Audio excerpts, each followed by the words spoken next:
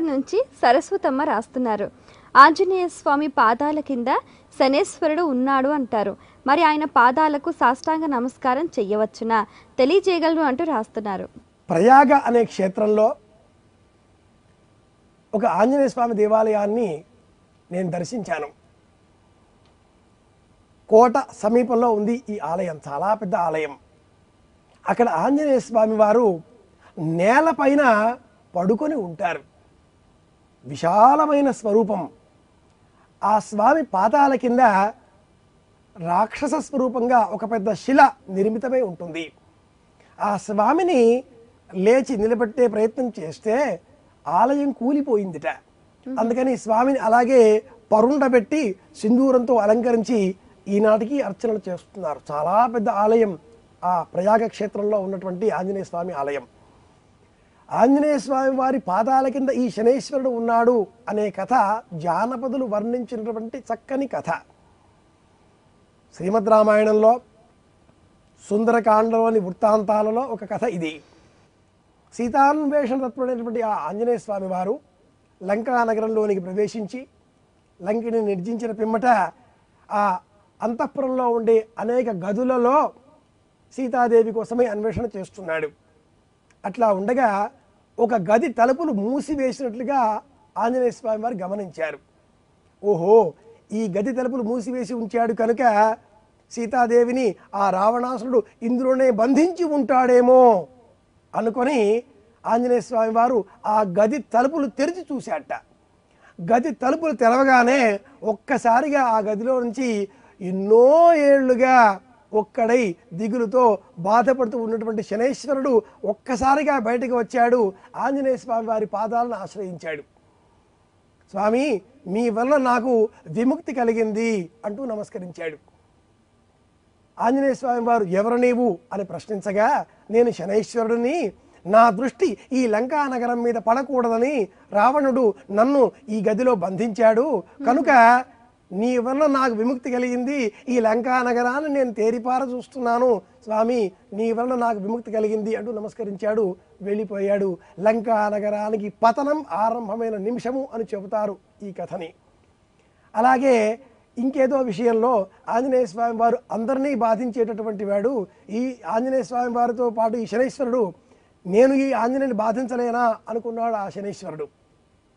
శనైశ్వరుడిని ఆంజనేయుడు తన పాదముల కింద తొక్కిపెట్టి ఉంచాడు అని మరొక కథ చెప్పుకుంటారు. ఏం చెప్పినా ఆంజనేయ స్వామి వారికి నమస్కరించే సమయంలో ఆయన రుద్రాంశ సంభూతుడు. నమస్కరించినంత మాత్రాన ఆయన పాదముల కింద అణచబడి ఉండేటటువంటి ఆ శనీశ్వరుడు మనకేదో కీడు కలిగిస్తాడు. అనుకోవడం మట్టుకు అసత్యము అవివేకము అని చెప్పుకోవాలి. మనకు ఎటువంటి కీడు రాకుండా శనైశ్వరుడిని తన పాదాల కింద అణిచిపెట్టేంత అమిత పరాక్రమవంతుడైన ఆ ఆంజనేయుడు మనం నమస్కరించగానే ఆయన పాదముల కింద నుంచి ఈ శనైశ్వరుడు తప్పించుకొని వచ్చి మనల్ని ఆశ్రయిస్తాడా పట్టుకుంటాడా? కాబట్టి అటువంటి సందేహమే అవసరం లేదు. స్త్రీలు సాష్టాంగ నమస్కారం చేయకూడదు. మిగతా వారంతా కూడా తప్పకుండా స్వామివారికి సాష్టాంగ నమస్కారం చేయవలసిందే. ఇది సమాధానం. అయితే చాలా మంది కూడా ఆంజనేయ స్వామి పాదాలకు బదులు అతని తోకనే నమస్కారం చేసుకోవాలి అని అంటారు. మరి దానిలో ఉన్న అంతరార్థం? ఆంజనేయ స్వామి వారికి తోకకు ఎందుకు నమస్కారం చేయాలి అంటే ఆంజనేయ స్వామి వారు రుద్ర వీర్య సంభవుడు రుద్రాంశ స్వరూపుడు సాక్షాత్తు పరమేశ్వరుడే. పరమేశ్వర స్వరూపము అర్ధనారీశ్వర తత్వంతో కూడుకొని ఉన్నది. నశివేన వినాదేవి. అంటే ఈశ్వరుడు లేకుండా ఈశ్వరి ఉండదు. దేవ్యాచన వినా శివ ఈశ్వరు లేకుండా ఈశ్వరుడు ఉండలేడు. కాబట్టి అర్ధనారీశ్వర తత్వాన్ని అనుసరించి ఈశ్వరుడు ఆంజనేయ స్వామి వారుగా అవతరించినప్పుడు ఆ జగదంబ పార్వతీదేవి ఆంజనేయ స్వామి వారి యొక్క వాలములో తన శక్తిని నిక్షిప్తం చేసింది. అందుకే హనుమదుపాసకులు వాల పూజ అన్న పేరుతో ఒక ప్రత్యేకమైన సాధనా విశేషాంశాలని కూడా అభివృద్ధి చేశారు. ఆంజనేయ స్వామి వారి చిత్రపటాలని సేకరించి ఆ చిత్రపటంలో తోక భాగానికి మాత్రమే ఇరవై నాలుగు రోజుల పాటు ప్రతిరోజు కూడా ఒక్కొక్క బొట్టు ఒక్కొక్క బొట్టు పెడుతూ దానికి సంబంధించిన ఒక మహామంత్రం ఉన్నది. ఆ మంత్రాన్ని జపం చేస్తే అమ్మవారి అనుగ్రహం లభిస్తుంది అంటూ హనుమద్ ఉపాసకులు చెబుతారు. దీనికి హనుమద్ బాల పూజ అని పేరు. ఈ విధంగా ఆ ఆంజనేయ స్వామి వారి తోక చుట్టూ కూడా ఒక్కొక్క రోజు ఒక్కొక్క రోజు ఒక్కొక్క బొట్టు పెడుతూ ఇరవై నాలుగు రోజులు ఈ బాల పూజ ఒక నియమంతో ఒక సంకల్పంతో ఒక సాధనతో చేయవలసిన విశేష పరిశ్రమ.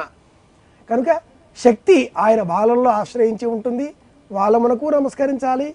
ఆంజనేయ స్వామి వారికి నమస్కరించాలి. ఇది సమాధానం.